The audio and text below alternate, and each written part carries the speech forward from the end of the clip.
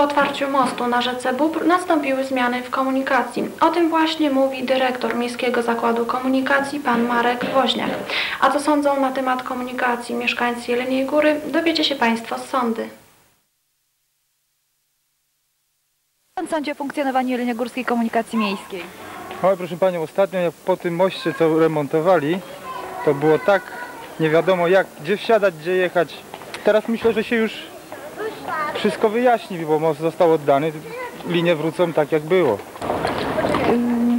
Ja akurat jestem z Siedlęcina i no, uważam, że akurat nie ta linia to nie spisuje się najlepiej. Podpisałem, proszę panią. Słabo kursują, nie w czasie. Drożyzna, najdroższe mamy autobusy w w Jeleniej Górze, to są najdroższe w całej Polsce. Także to jest nieładnie ze strony naszych władz naczelnych miasta, żeby tak była droga komunikacja, jak jest w tej chwili.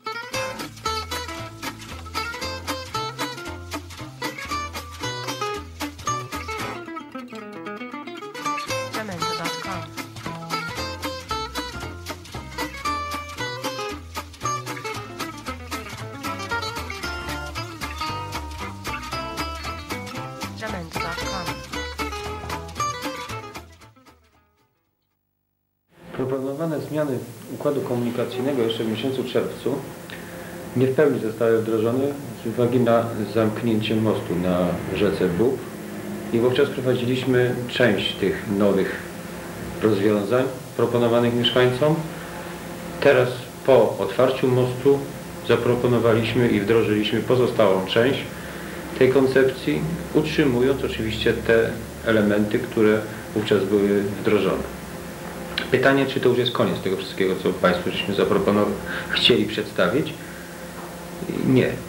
Pozostaną jeszcze elementy kosmetyki poszczególnych linii autobusowych, mianowicie badanie napełnienia poszczególnych kursów, eliminacja tych, które są dzisiaj niewykorzystywane i pozostaje jeszcze problem uregulowania linii CZ i linii 12. Prawdopodobnie, przynajmniej taką propozycję będziemy przedkładać, te dwie linie zastąpione zostaną jedną linią, która będzie miała numer 12 i ona spełni w pełni funkcję tych obydwu.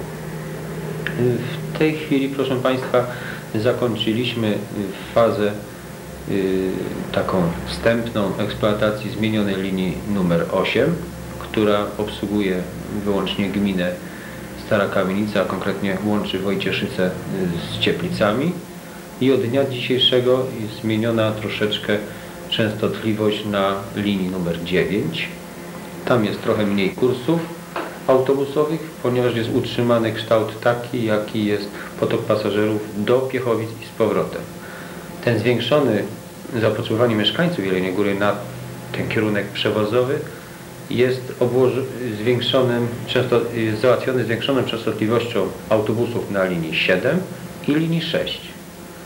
To są typowe linie miejskie, krótkie, one w tej chwili już mają większą częstotliwość, a jeżeli możliwości nie tylko techniczne, bo te najmniejszym problemem są, ale możliwości ekonomiczne pozwolą, tą częstotliwość nadal będziemy zwiększać po to, żeby mieszkańców korzystających dzisiaj z tych długich tras wybiegających daleko poza miasto zaproponować i tą propozycją y, przesunąć na te linie typowo miejskie o dużej częstotliwości, bardziej dopasowanej do możliwości chęci podróży naszych pasażerów. Sądzę, że jednak te autobusy jeżdżą za, za, za rzadko i do szkoły się spóźniam. Nie jeżdżę autobusami w ogóle, bo jest za drogo dla mnie. Ja jestem na rencie. O, bardzo źle funkcjonuje przeważnie linia numer jeden. Tak rzadko jeżdżą autobusy, że nie wypadają z kursu, że raz na godzinę jedzie bardzo dużo, jest niepotrzebnie do koszar autobusów, a do Jeżowa jest bardzo mało jest wycofanych, także przydałyby się właśnie do Jeżowa, a nie do koszar, bo do koszar to jeszcze można się dostać jedyn, y, piątką, dwunastką i nawet można się przejść na piechotę. A do Jeżowa jest bardzo dużo jest potrzebnych autobusów, bo bardzo dużo ludzi dojeżdża. I... Fatalna. Dlaczego? Strasznego. Spóźnienia, warunki żadne. Beznadzieja. No ja na razie zadowolona jestem. Rano trochę są przepełnione autobusy, niepunktualnie jeżdżą, ale na ogół to korzystam, to jest punktualność. Dobra. No jedynie co nie, nie mogę załatwić biletu takiego nie pracuję, żeby miesięczny bilet. Nie opłacę nie kupować codziennie, tylko taki okresowy bilet.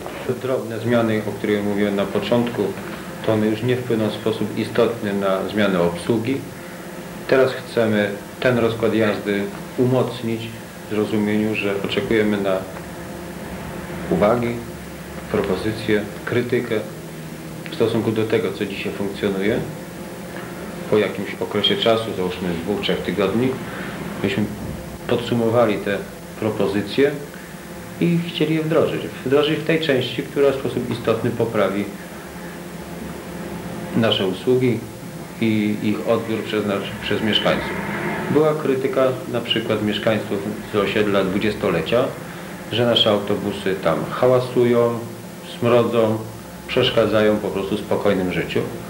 Wobec tego zlikwidowaliśmy wszystkie postoje tych autobusów. Znaczy w tej linii tym 6, osiedlu. przepraszam, Linii że 6. tak, linii Linii 6. 6.